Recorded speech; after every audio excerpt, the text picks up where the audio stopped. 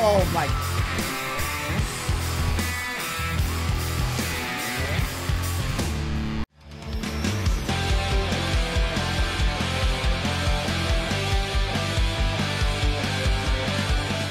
Going on everybody? Welcome back to the channel. I'm Steven, this is Steven in Stereo, and in today's video, we are diving into the Live Sauce album from 5 Seconds of Summer, and I'm really looking forward to this album because, first off, like, this is one of those bands that I think live is so different from record, and we've kind of noticed that, especially with those newer eras that come out. They sound so amazing, and the studio production is incredible, but when you hear it live, those songs just hit a lot different. Now, one of the things I'm really looking forward to is that this album, 2014, so when they did this, this is pretty much like my favorite era of 5 Seconds of Summer, although I will admit that they are appreciably more talented than what they were doing at this time. Like, if you listen to what they're doing these days, it's fucking amazing, right? But there's something to be said about the nostalgia of this, and at the same time, this is one of my favorite genres, so like, of course I'm gonna fucking love this. Um, so, I'm really looking forward to this live album. Before we get into today's video, I just want to plug my Patreon. I don't do ads, I don't do sponsorships, none of those things. So I rely on Patreon to support my page and allow me to keep making videos like this. So I do a lot of exclusive content over there. Uh, first and foremost, this album will be a full uncut album reaction over on Patreon. So it's going to be significantly longer than the YouTube version. Um, I don't cut anything out. So basically when I press record, I upload the entire thing over there. Uh, and yeah, a lot of people seem to like that. But I have a lot of stuff five seconds of summer related. I did their 10 year anniversary um, as a watch party. I have done the How Did We End Up Here movie. I have done tour diaries. I've done it all. So if you're interested in checking that out, the link is in the description. Uh, it's a very small like amount of money to join and it helps me tremendously. With all those things out of the way, I am really looking forward to diving into this live album. and I've heard really good things about it. So we're starting off right with 18. Oh yeah, this is already fucking gonna be sick. Ashton comes in so strong.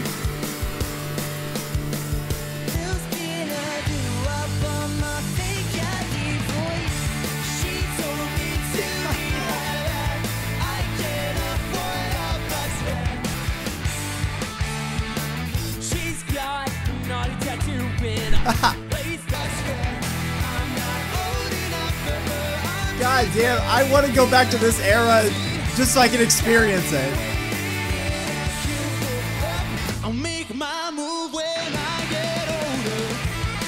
Oh, fuck. Yes! So fucking sick. This is so sick. They sound so good live, too. It's fucking incredible.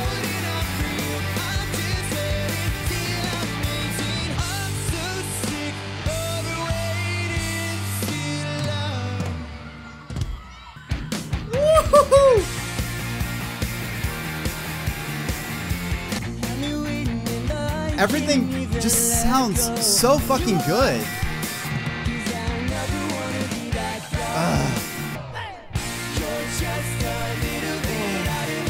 This song is fucking so good.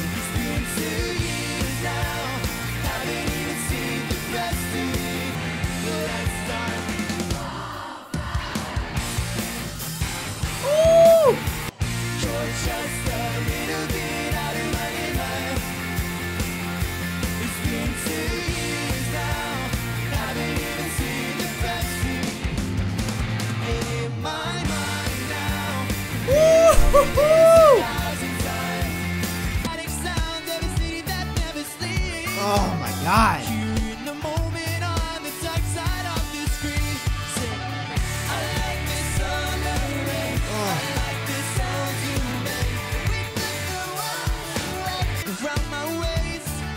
That guitar riff just sounds so good in a live setting. Just like, no matter how repetitive, it's so fucking sick.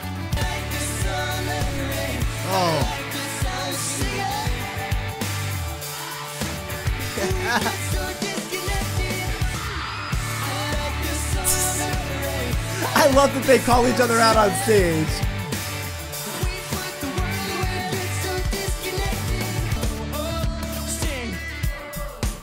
Yeah.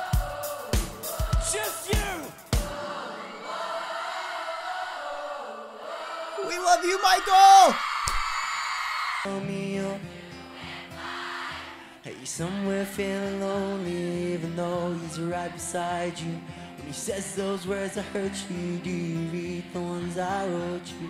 Sometimes I start to wonder, was it just a lie that make down your face? Yes! The change you left behind, you didn't need them. I wish we had was real. How could you be fine? Somehow find it all. Remember the day you Oh. told me I woke up with you right beside me. Hmm. Y'all, if this was just some twisted dream, stupid little thing. We felt the borders sleep next to you. And the memories I never can. Oh! Woo! That bass and drum section, everything you want.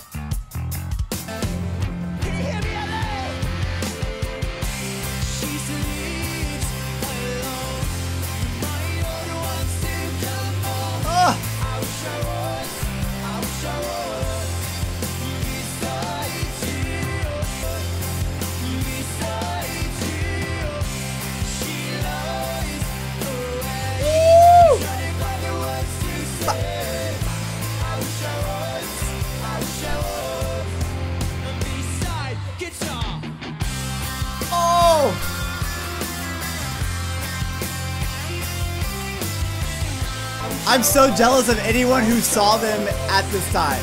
What the fuck? And we need your help. Once. Yeah, Ashton's back there, hyping us up.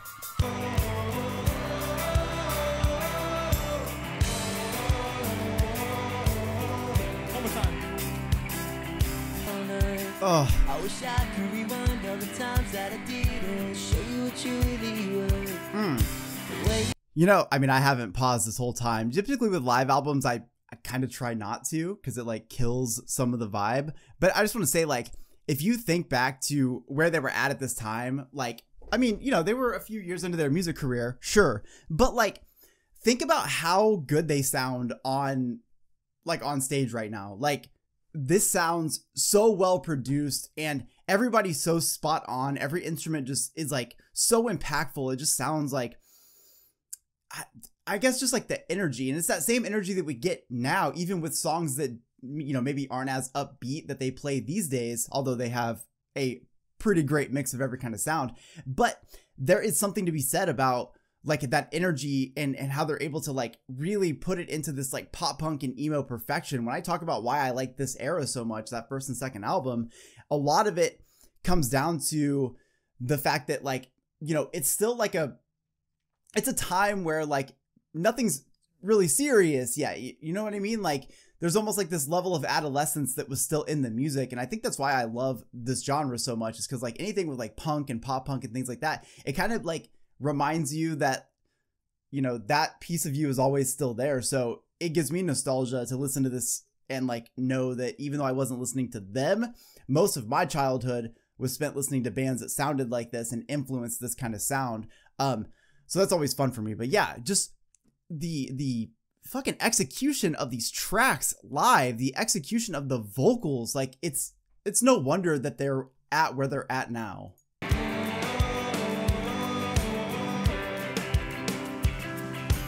wake me up now. Ugh.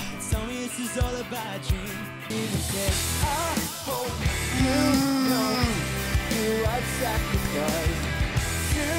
me this is all about you. You said, I hope you know you have sacrificed to make this right. Take it away. this next song. This next song. Psychosocial. Now, Yes. Ding, ding, ding, ding. um, this next song. If that's okay. Sing with him. Everybody sing with 'cause I Luke. can't sing very well. What it, it's just palm muted perfection. I am such a sucker for the palm mute.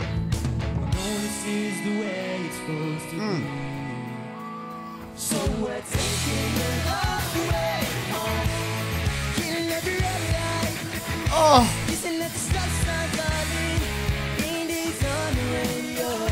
So sick. Oh. I just want to stage dive and fucking mosh because they're so fucking good live.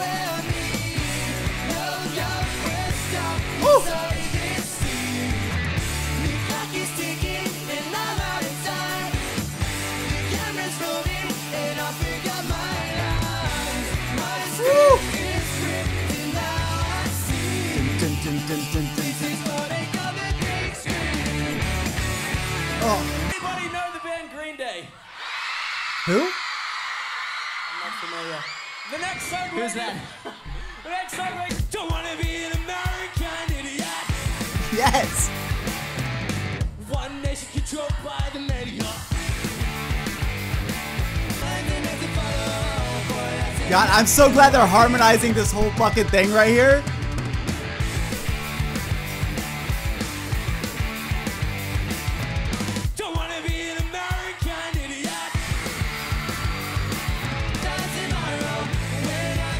The fucking harmony is just so goddamn good.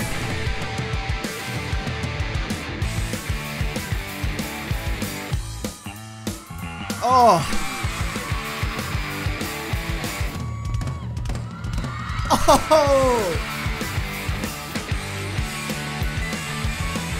damn. Don't ever underestimate how punk this band can be.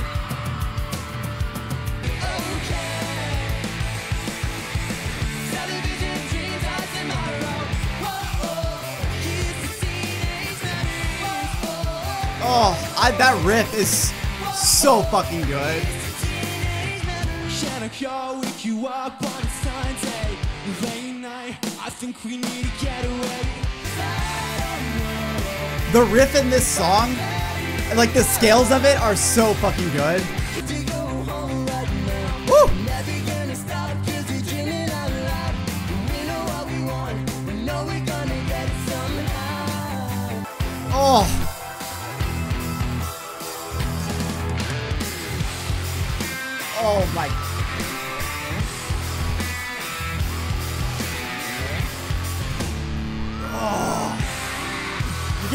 shot on that.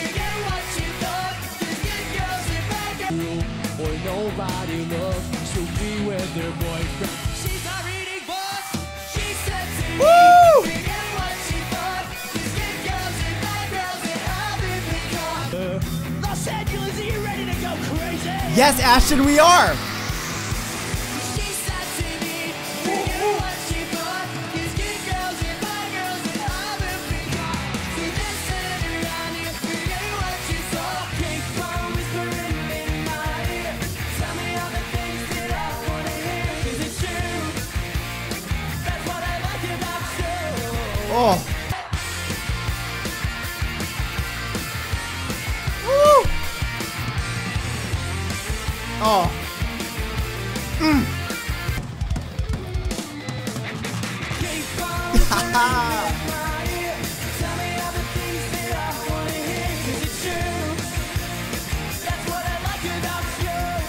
I'm glad they could take that song and cover it and add their own elements to it to just make you have a great fucking time while you listen to it. Man, ah, this would be so different if I could see them live doing this.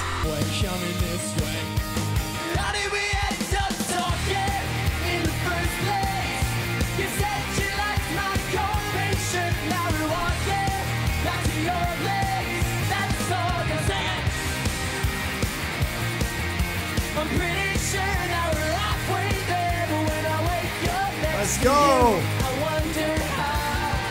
Oh.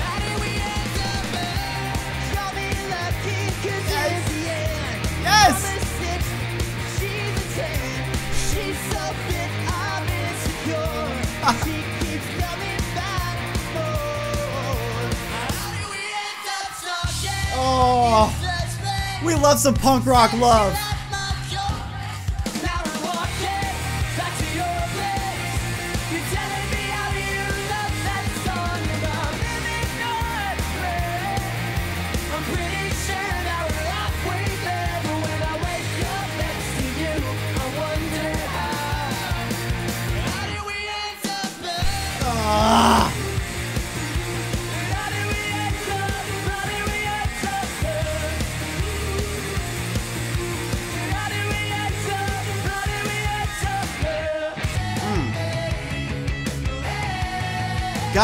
Fucking rhythm guitar in this. It's like so heavy. And with Calum playing a bass right alongside it.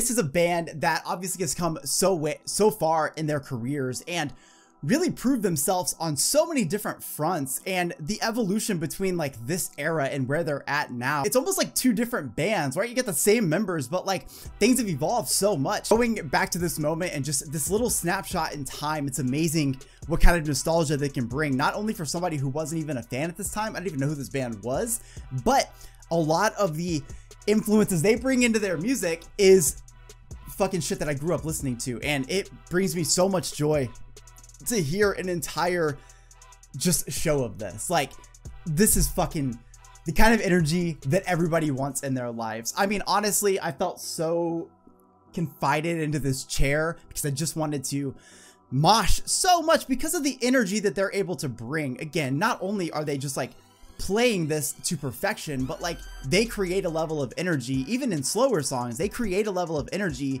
that just keeps you very upbeat and kind of like intense the entire fucking time. It's the best way to explain it. I have to say that this band again, we talk about the evolution. They're obviously like continuing to get better and better, but I would like to say that here in 2014, at the time that they're doing this, they are so professional in their sound. Like every, it felt like every note was so deliberate and it was executed so well. And like, I can't say that for every band of this genre that I've seen before. Now, I think there's beauty in the imperfections. However, it's worth noting that like every piece of this was just so spot on. And what that does is it kind of opens up that conversation that I've talked about many times, which is this is a band that, you know, they have a great time. They're all about having fun, but they're also really serious about what they do. So even though they're going to make a lot of jokes, they're going to pull pranks on each other, they're going to do all these things they do, the result is always going to be the same when it comes to the music, no matter if they're talking about their American Apparel underwear or ripped jeans laying on the ground, or if they're, you know, talking about something off of Calm and Youngblood. Like, it, the point is, like, that level of characteristic and personality in their music has always been very present and still is present to this day. I mean, on Patreon, we watched the 10 year anniversary. I mean, that thing was amazing and also silly as fuck. And what I love about that is that that was the version of them that exists today. And that's the same people that you were going to get back in the live sauce days. So for me, that's a really big um, thing to point out because it's something that I always respect. You know, I use my platform to talk about a lot of artists from various genres and it brings me a lot of joy to know that the people I talk about for the most part are like people that I also really appreciate outside of the music like their personalities really shine and this is a band where everyone has that the fact that I've been able to connect with three out of four of them just in sharing things about music like shows me that like they're in tune with the community and they care about uh, their followers and they care about their fans and people that want to promote them and stuff and i just think that's fucking incredible. So like i'm very I'm very happy about this band. Now, this live show in particular, I think it was set up so well. Again, the production on it was so good. You can hear everything with so much clarity. I feel like everybody sounded on point. Obviously, they probably went in knowing that they were going to be filming this one, but I don't think it would have been any different if you saw them at the show the day before. I think you would have had that same level of energy because I feel like they're a band that cares about what that live performance is like. Uh, I gotta say that going back this far, as much as I like obviously I love the vocals, right?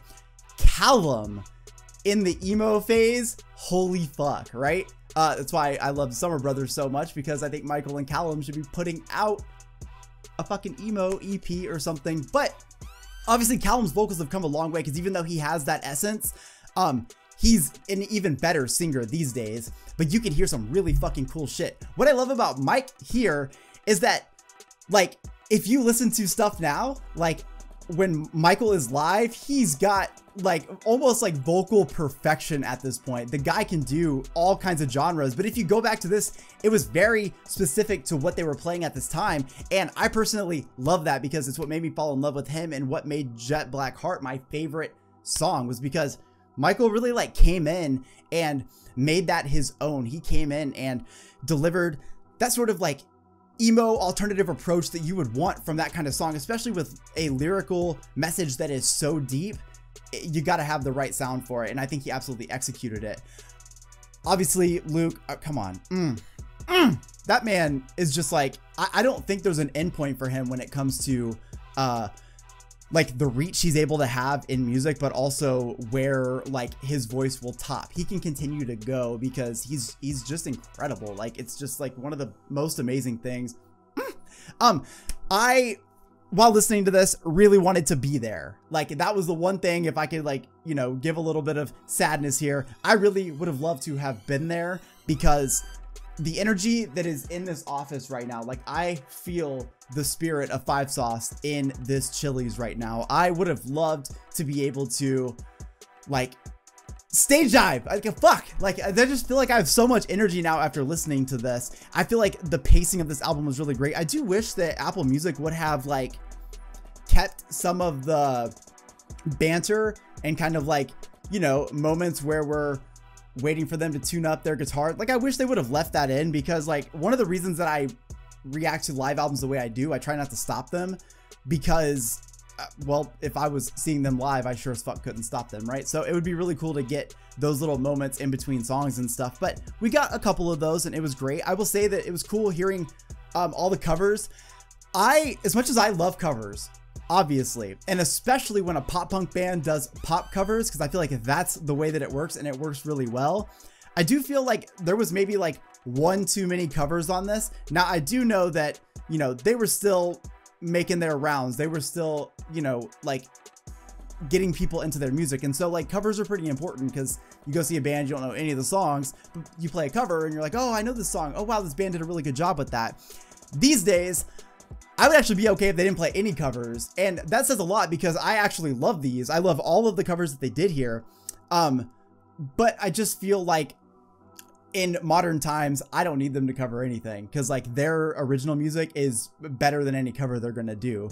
But having said that, it was really cool to hear them do American Idiot and do it so well. I'm glad that they changed the arrangement a little bit because obviously that song has like this this bridge section where it's like you know, microphoned in and, and Billie does his thing. And I don't know how that would have, you know, worked out in a live moment on this, but I'm really glad to have had it here.